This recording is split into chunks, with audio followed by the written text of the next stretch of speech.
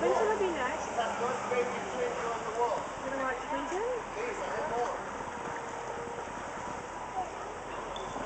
Next person, please.